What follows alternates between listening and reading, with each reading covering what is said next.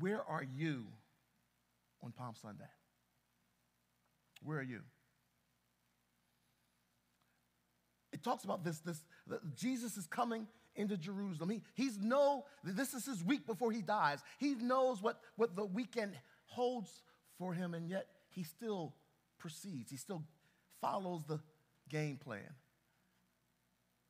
And, and, and, and it says that as he's coming to Jerusalem, that, that, he's, that there's a crowd that, that's celebrating in Jerusalem at this time. That, that to, to, at this time, if you were a good Jew, there were three major holidays that you would, that you would travel back to Jerusalem for. Uh, there was Pentecost, there was the Feast of the Tabernacle or the Tabernacle, and there was Passover.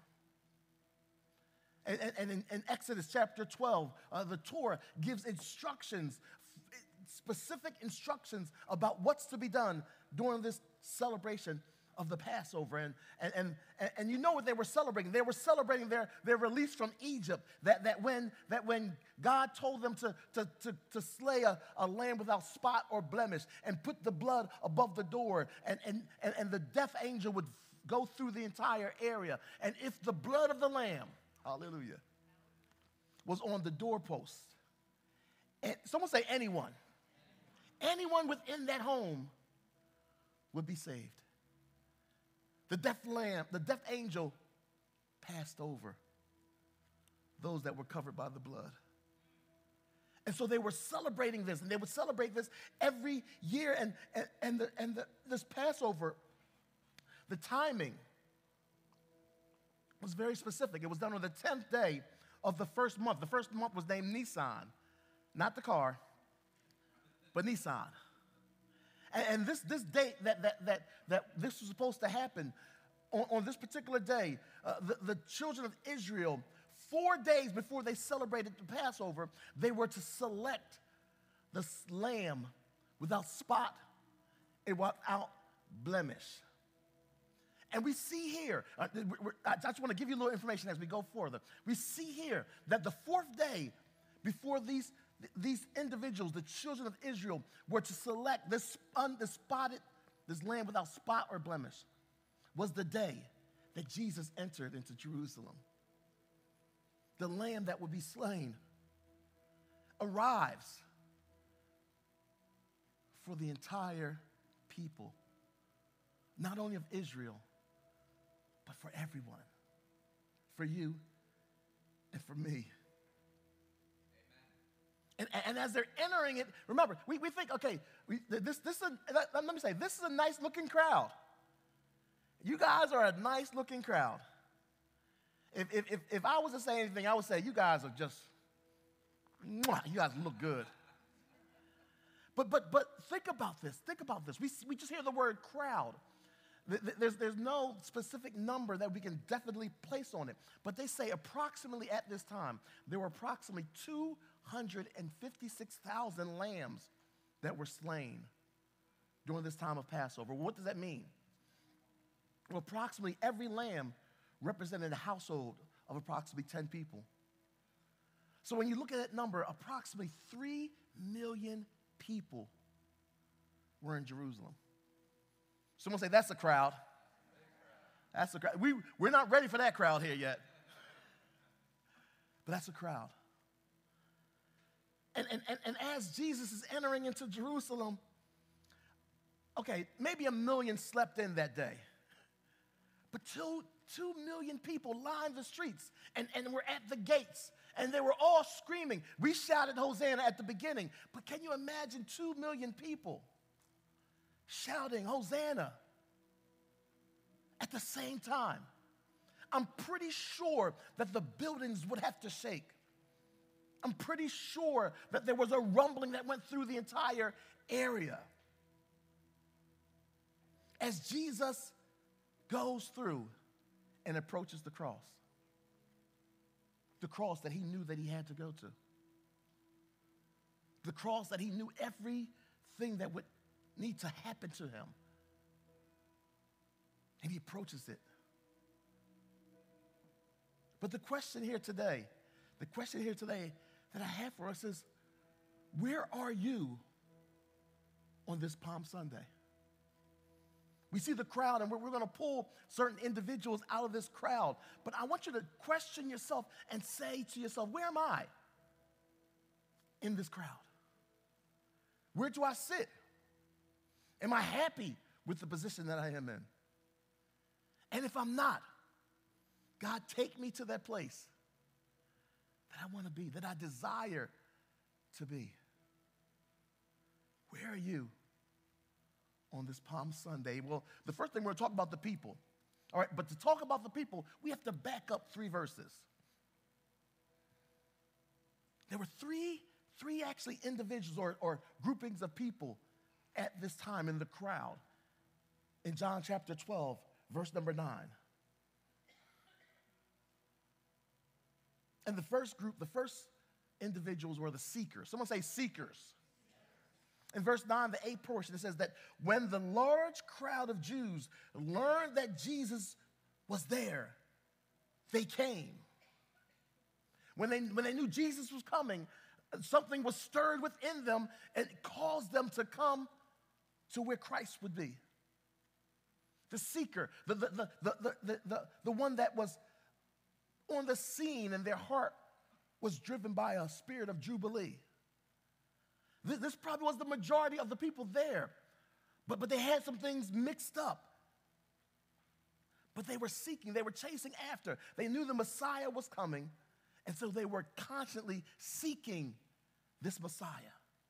And so when Jesus was entering into Jerusalem, uh, they, they, they, shouted out this phrase, this phrase that came from Psalm 118, 25 and 26. It says, the actual word Hosanna actually means save now.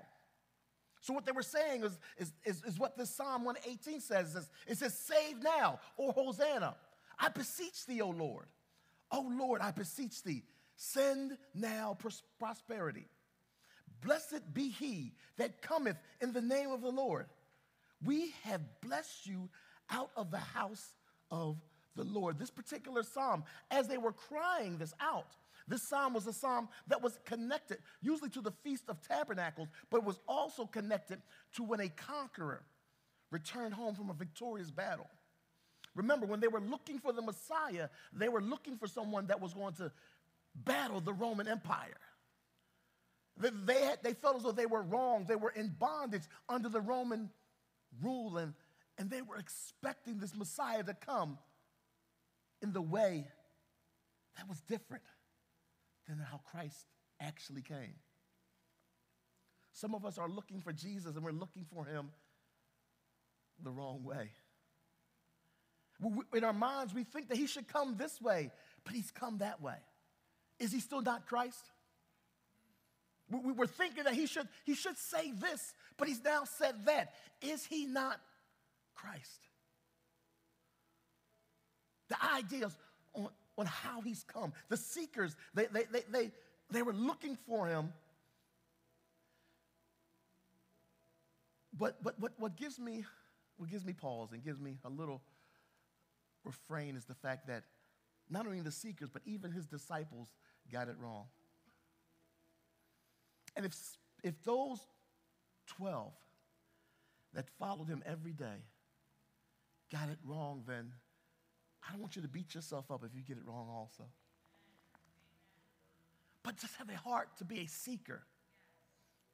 To say, yeah, I got it wrong. I thought, I thought this, but this happened.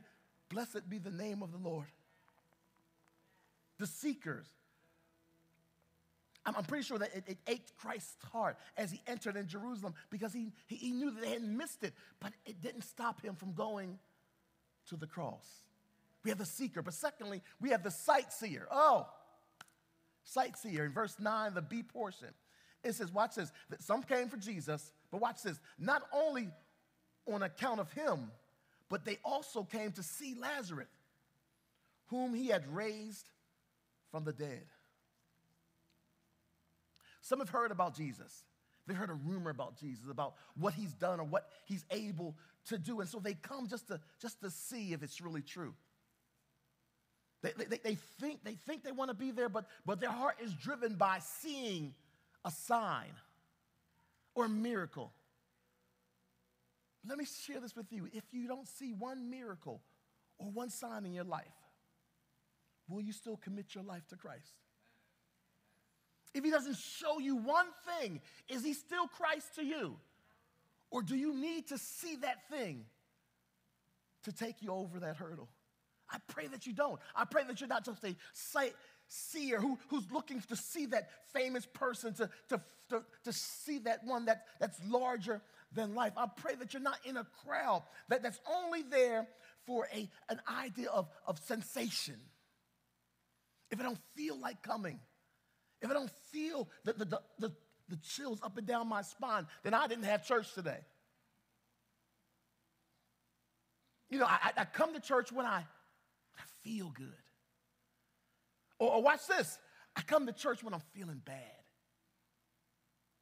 When everything has happened and, and all the roads have closed and, and every bank has turned their backs on me, that's when I, you know what? I need to go to church. A feeling, a sensation. A sensation that probably had some of the sightseers saying Hosanna, Hosanna in the highest on Sunday, but then having them on Good Friday saying, Crucify him. With the same mouth that they blessed, they also cursed. And lastly, the, the, third type of person that was in this crowd that we see is the scoffers. In verse 10, it says, So the chief priest, so the chief priest made plans, watch, to put Lazarus to death as well. Meaning that there was somebody else they were trying to put to death as well. The Pharisees, who should have been excited about the Messiah coming, they were frustrated, they were upset. They said that the whole world was going to go after him. The people that saw every prophecy in the Old Testament being fulfilled should have been the ones excited, like, this is him. This is the one that, that we've been reading about. This is the one that's been promised to us. They should have been excited. But they were scoffers because it messed up their agenda, it messed up their game plan. I, you know, I, I, I love movies. I love movies, and I haven't seen it, but you know, that movie where you see the, the husband and wife and they're, they're walking down the, the aisle and they're, they're, they're about to say, I, I, don't ever say this when I do weddings. So if you want me to do your wedding, just know I don't, I don't say, and if anyone has anything to say, mm-mm. no, you should have said it by then.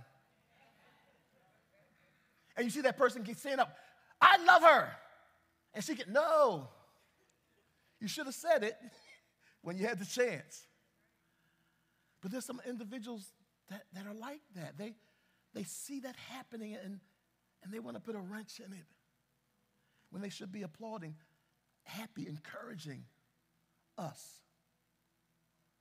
Those are the three type of people. So I'm asking you the question today. Where are you on Palm Sunday? Are, are you a seeker? Are you a sightseer? Or are you a scoffer? I can't answer that question for you. Those online, I can't answer that question for you. But, I, but, but what I can say is that if you're in any category outside of a seeker, you have an opportunity today to say, Christ, I want to be a seeker. I want to chase after you. I'm not happy where I am. And I want to, I want to, I desire to be a true follower of you, Christ. So the people we have first, but next after that we have the personality. The personalities. You know that we have personalities, right? We, we, we all have different things that we like, different things that we don't like. There's certain people that will speak up in the middle of a meeting. Some people will hold their tongue to the end and write you a letter. There's different personalities. There's people that are very confrontational.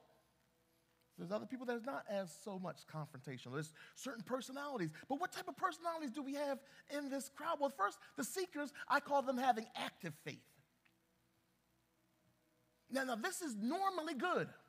An active faith. They recognize Jesus as their Savior, as their Messiah, and they seek after Him. They chase after Him. This is a good thing, but it can be a bad thing at the same time as a seeker, because if you're a seeker and you're seeking the wrong things. That's when those seekers make a wrong turn. You're a seeker, you're chasing after Christ. But you're saying, God, your word said that you would give me the desires of my heart. Everything that I ask for is mine. You're wrong. I was speaking with uh, Neon last week, and she said she, she had never thought about it as we are preaching. It's not that He'll give you the desires of your heart, is that he, he will give you. He's going to give you those desires for your heart. As a true seeker, that's what we pray for. God, give me my give me those desires that you have. Place those things on my heart that burn and ache your heart. God's not a vending machine. And I pray that's not what you're looking for today.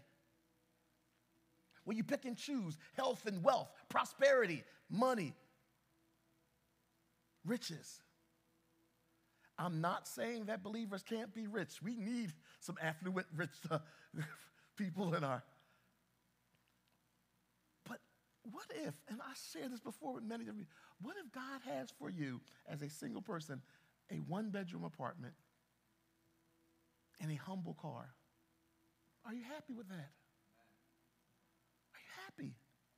Or are you seeking after something that's really not for you, this active faith seeker, not trying to put Jesus in a hole or trying to fit Jesus into your box. The, the, the sightseer, that's the person that, like I said before, has that sentimental faith. These are the same people, like I said, that, that praise them on Sunday, but something happened. The tables turned, and on Friday, they now scream out, crucify him. These are individuals that are led by their emotions. I don't know if you know anyone like that. They, they, they follow the, the, idea that, and, and, and I've, I've witnessed this. There was a time that, that we would have like crusades and, and revivals, and they would scare you. They would scare you to salvation. I'm, I'm serious. You're going to hell. You are going to hell. You are going to hell. I don't want to go to hell. But have you touched that person's heart to make them want to have a change? It's, it's, it's a feeling, it's a sensation, it's, it's, it's salvation based on emotions. It's a life that has no spiritual backbone. It's worship based on feelings. I, I, I, praise him when my favorite song comes on. I, I worship him when I feel that I'm led to worship him. No. It says, let everything that hath breath praise the Lord. And as far as I can see, let me check to be sure. Yeah, you all got breath. There's no need for a sensation. It's not coming to church to get your fix. That I run to Sunday to just praise it, but on Friday, it's a whole different story. I pray that you're not a sightseer with, with, with faith that's based on feelings and sensation. And the scoffers have, there's no faith connected with them. Their major problem is because they, they, they scoff at Christ. Christ isn't enough. Sometimes I can't see it, so I can't believe it. But that's not how we roll, Brother John, is it?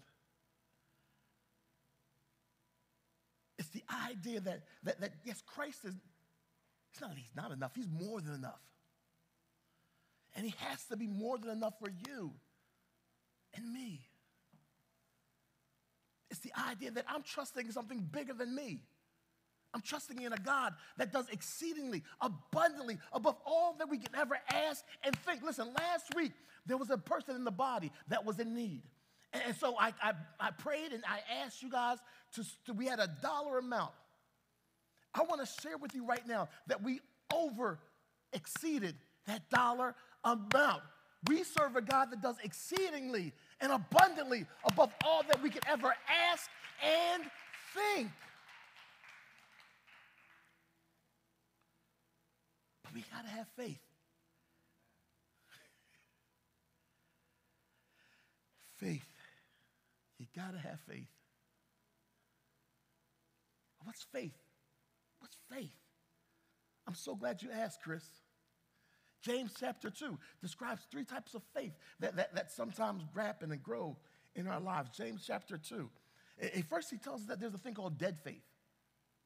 Dead faith in verse 17. It says, So you see, faith by itself isn't enough unless it produces good deeds. It is dead and useless. Where are you on this Palm Sunday? Do you have dead faith? He said, not only there's dead faith, but the demonic faith. In verse 19 through 20, he says, You say that you have faith, for you believe that there is one God. Good for you. Watch this. Even the demons believe this and they tremble. How foolish. You can't see that faith without good deeds is useless. I call these people the, the you know, the, the spiritual people, you know, that I'm, I'm, I'm not, you know, I'm not religious, but I'm spiritual. I, I know there's a creator. I'm, I'm spiritual. Even the demons know that there's a God, there's a creator. But the last one is a dynamic faith. And this is the faith that I pray for every day in my life and the life of those that I know. Verses 21 through 22, it says, Don't you remember that our ancestor Abraham was shown to be right with God by his actions when he offered his son Isaac on the altar. Verse 22. You see, his faith and his actions work together. His actions made his faith complete. Our dynamic faith is our faith and our deeds working together hand in hand.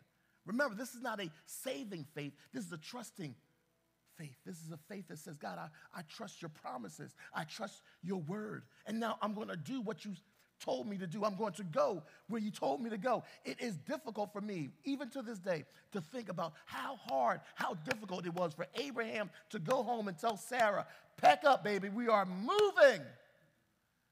Where are we going? I don't know. How long are we going to be going? I don't know. But it takes dynamic faith. Watch this. For Abraham, but we don't talk about Sarah much. They say, okay, baby, let's back and let's go. So, my question once again for you is where are you on Palm Sunday? Because we have the people, we have the personalities, but we have the promise. We have the promise that, that Jesus, he made, that he claimed to be the Messiah. He claimed to be the Messiah by his actions. It's a promise. He fulfilled the promise and the prophecies that were made for him along in what he did, but also what he was about to do. Isaiah 35 tells us, it says, He's coming to save you. And when he comes, watch this. This is what the prophecy tells us that the Messiah would do that he will open the eyes of the blind, unplug the ears of the deaf. The lame will leap like a deer, and those who cannot speak will sing for joy. Jesus did every one of these things. He fulfilled every prophecy and the prophecies that were to come. Him riding into the city on a donkey was a miracle in itself. He asked for, watch this, if you read, he asked for an unbroken colt. What does that mean? Why does that have any significance? Well, I don't know if you've ever seen a cartoon called Spirit, but it's about a horse that's unbroken and only one girl can ride him. Takes a lot to break a horse, they call it. To get on the back of it, it kicks, it doesn't want to go in that direction. That's a miracle in and of itself. But when you watch this, as they lay down the coats and the palm, it's not natural for a donkey to walk over those things. But yet, and still, an untamed donkey that had never been broken, never been ridden, was ridden by the Savior into Jerusalem. Jesus was fulfilling prophecy at every point, showing that he truly was the King of Kings and the Lord of Lords. Not only did he claim by his action, but Jesus claimed to be Messiah by what he, what, by what he brought.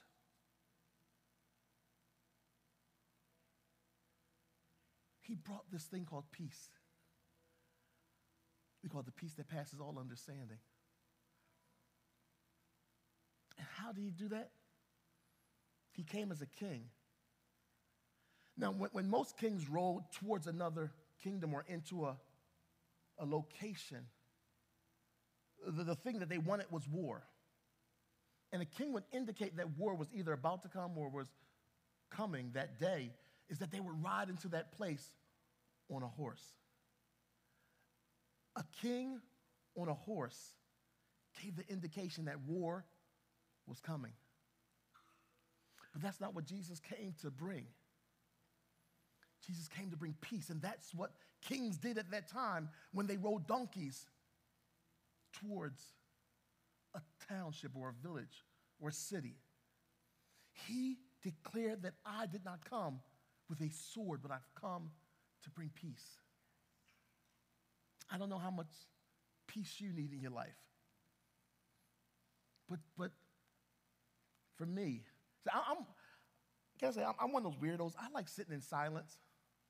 I love sitting in silence sometimes, especially when I'm studying. I may put a little music behind at time, but for the most part, I like sitting in silence. That brings me peace. Some people get peace by cleaning. If that's you, come on over to our house. Amen. Me and my wife will appreciate you. Our house is clean, but there's one less thing that my wife has to do. Some people get peace by reading. Some people get peace by walking in the walking in nature, riding their bikes. But Jesus brings a peace that passes all understanding. He brings a shalom peace, a peace that, that God created at the beginning for us all. It says, Jeremiah 33 6 is nevertheless, the time will come when I will heal Jerusalem's wounds and give it prosperity and true peace. True peace. There's a manufactured peace, but there's also a true peace that I believe. I, have I've never, I never shared this, but I believe that, that as Peter got out of the boat in the middle of the storm to walk on water, that there was a peace within Peter that passed all understanding. How do I know? Because he was able to go beyond what his mind said he could do. And he was able to walk to Christ in the middle of a storm peace, true peace. Isaiah 9 6 that we normally say at Christmas time. For unto us a child is born, unto us a son is given. The government will be upon his shoulder, and we shall call him Wonderful, Counselor, Mighty God, Everlasting Father, Prince of Peace. And therefore, because he does all these things and what he did and does and, and what he brought. Jesus came as our Messiah this and every day because of what he does. What does Jesus do? He brings salvation to everyone. Romans 1:16. This is my life verse. For I'm not ashamed of the gospel of Jesus Christ. Why did I pick this? Because when I first became a believer, at times I was ashamed to share with individuals about me being a believer that wouldn't be the first thing out of my mouth. And so I proclaimed by my life verse that I would not be ashamed. He said, For I'm not ashamed of the gospel of Jesus Christ, for it's the power of God unto salvation to everyone that believeth, to the Jew first, and also to the Greek. He brings salvation. Second Corinthians 5:21 says, For he made him who knew no sin to be sin for you and me, that we might become the righteousness of God in him. You don't become the righteousness of God because of yourself. You become the righteousness of God in and through Jesus Christ. So, again, I'm asking you the questions Where are you on this Palm Sunday? Do you have the faith of a scoff, of the scoffer that, that doesn't quite understand or, or sure that Jesus' promises are true? Are you the sightseer that's, that's not really concerned about anything else than a feeling? An emotion, or are you a seeker? That you may, you may not be quite sure that Jesus is going to fulfill those promises. And there's times that, yes, I do get a feeling, but at the center of it all, you are passionately seeking, searching, chasing after God, no matter what circumstance or situation may come. Where are you? Today, on, on this Palm Sunday, we're worshiping Him, we're, we're welcoming Him, we're calling on the name of Jesus. But I, I want to press just a little further into this. Is that okay? I'm, I'm, I'm, i want it to be uncomfortable. I do want it because I want you to be challenged. So not only are where are you today on Palm Sunday, but where will you be on Good Friday? Where are you going to be on Good Monday, Good Tuesday, Good Wednesday, Good Thursday, Good Saturday? Or is your faith only good on Sunday? Is this the only time that someone would know that you're a follower of Jesus Christ? Will you be at the foot of the cross with those that had determined in their hearts that they were going to follow Jesus to the very end? Where are you? And where will you be? Are you walking off? Are you walking away from Jesus? Are you afraid? Are you hiding? It depends on these three things, and this is where we end. The first that we talked about, it depends on our crowd. It's important for us to look to see and consider the, the crowd that we've elected to travel with. We're influenced. I know you don't think so, but we're influenced by the people that we surround ourselves with. My mom said it best birds of a feather flock together. Show me the people that you hang out with, and I can, I, I, can, I can tell you a good idea about who you are.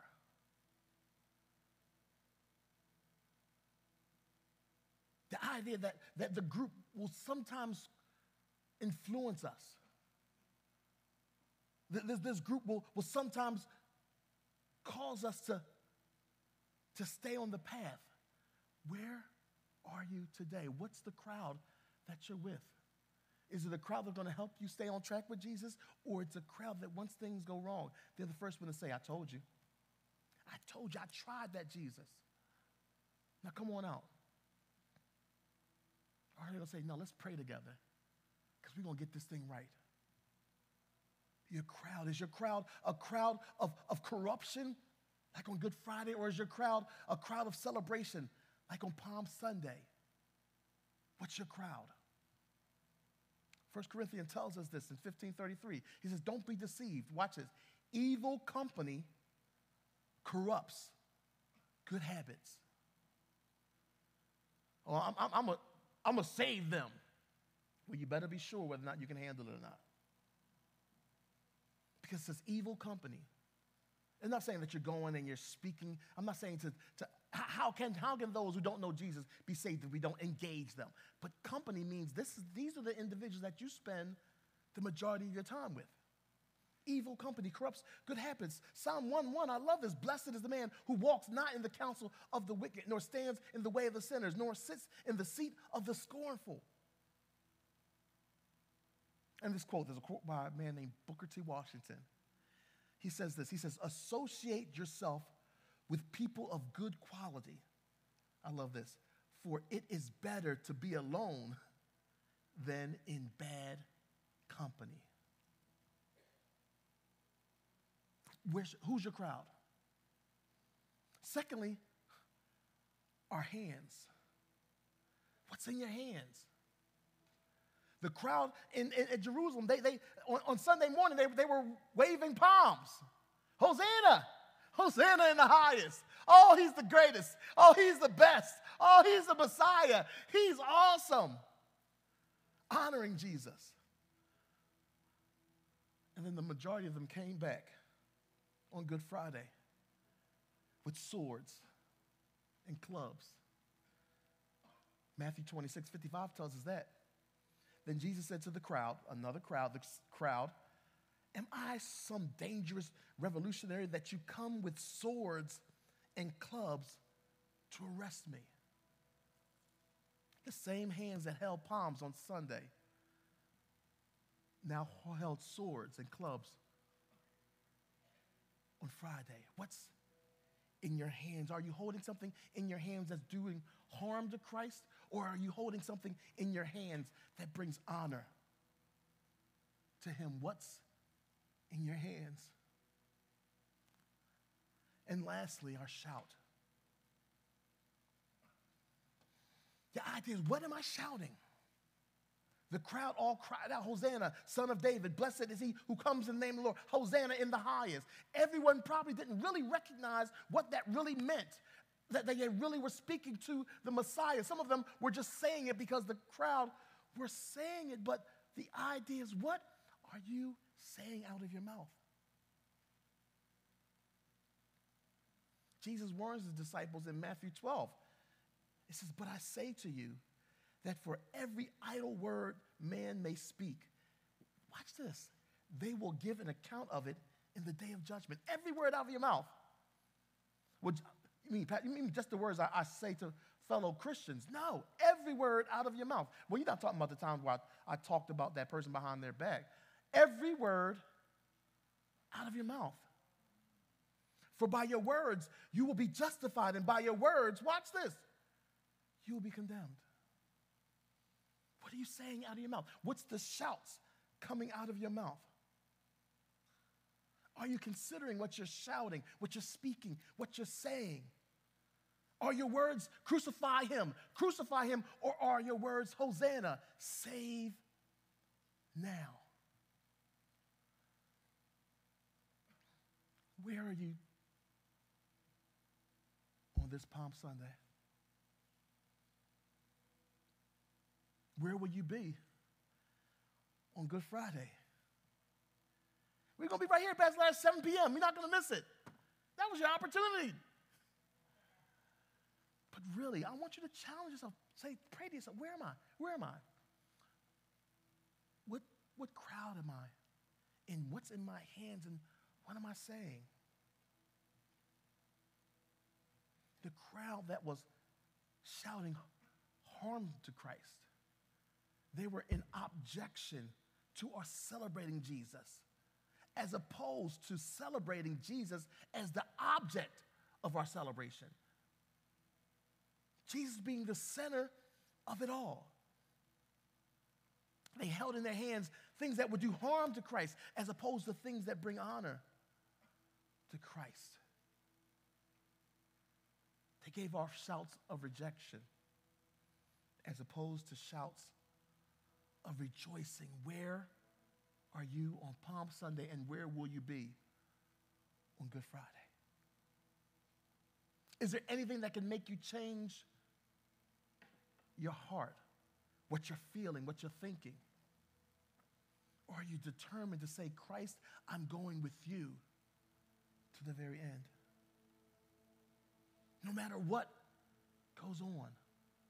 No matter what happens, whether I think that it should have happened that way or not.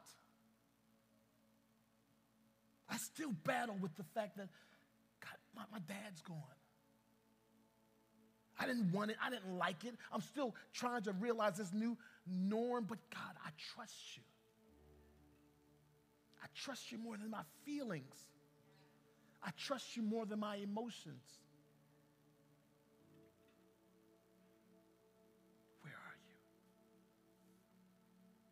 With all heads bowed and all eyes closed, Lord God, we thank you. We thank you, God, because we want to be challenged. We want to be pressed. We want to know without a shadow of a doubt that, God, I'm chasing after you. And God, no matter what happens, no matter what may come, I choose you this day and every day. Things are going to get tight. Things are going to get rough. But Jesus, I choose you. Not just on Sunday. Not just when things feel good or when things seem right. God, I choose you in the midst of my storm. So, God, I pray that whether it's a true Palm Sunday type of day,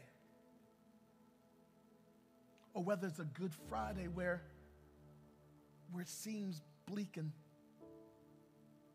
hard. I trust you.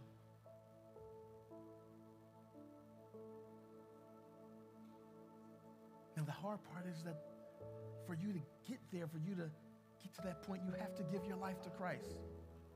You have to say, Jesus, I give my life to you.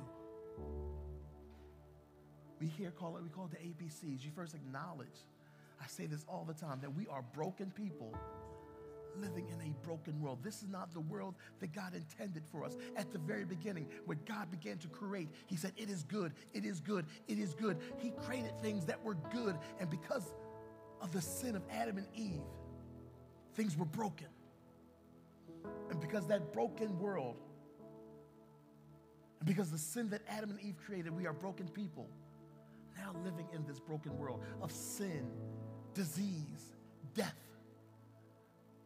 So, first we acknowledge that. If you can't acknowledge that you're broken, then I pray that God would bring you to the point that you would see it, that you see your depravity.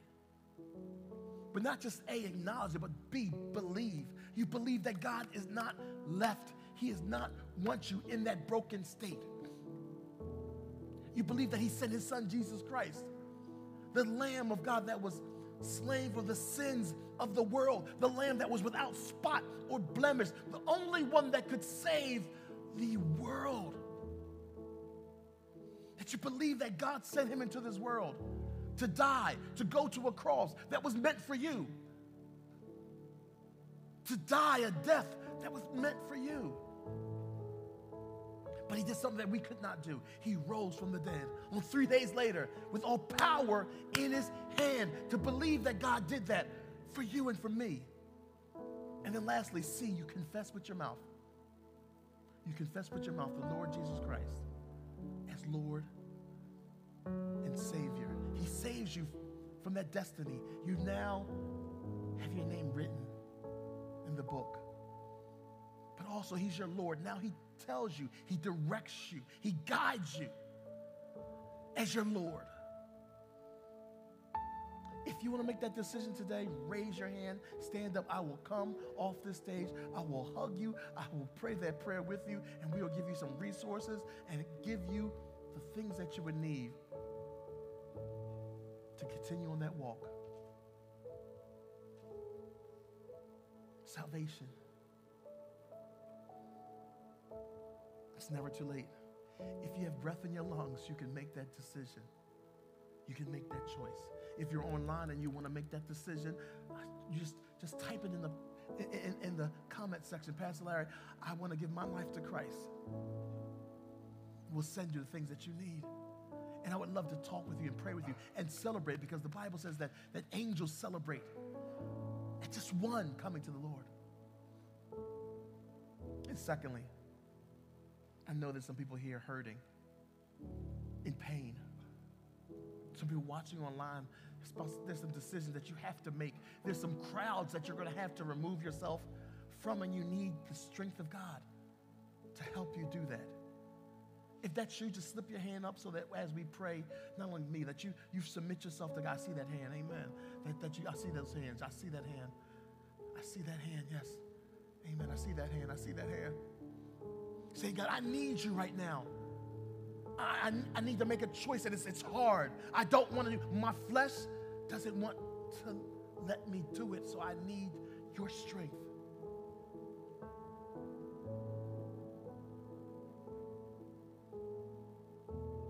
Let's pray. Lord God, you know us better than we know ourselves. So, God, I pray that you would just that you would come in, God, and that you would help us, God. That you be our very present help in our time of need. But God, for those hands that were raised, God, you, you know what those individuals are in need of, God. And I thank you for them submitting themselves to you, to saying, God, I, I invite you in to this situation. I invite you in to this circumstance, God. Now, God, I pray that you would just meet them, God that you allow them to know that you that you would never leave them nor forsake them, that even when they sit alone in a room, that they've never, that they'll never be alone. I thank you, God, for this body here. Continue to use us, God. Allow this place to be a safe place for hurting people. For those that are confused, but those that are seeking and chasing after God. And for those that may not, God, allow them to feel welcome here so that they can hear your word so that a change can happen, God. So that their lives would mirror the life of your son, Jesus Christ. Now use us, God, and allow us to be used. We thank you and we praise you. And we ask these things in the matchless name of Jesus Christ. And the people of God say, Amen, amen, and amen. Let's give the Lord one more hand clap.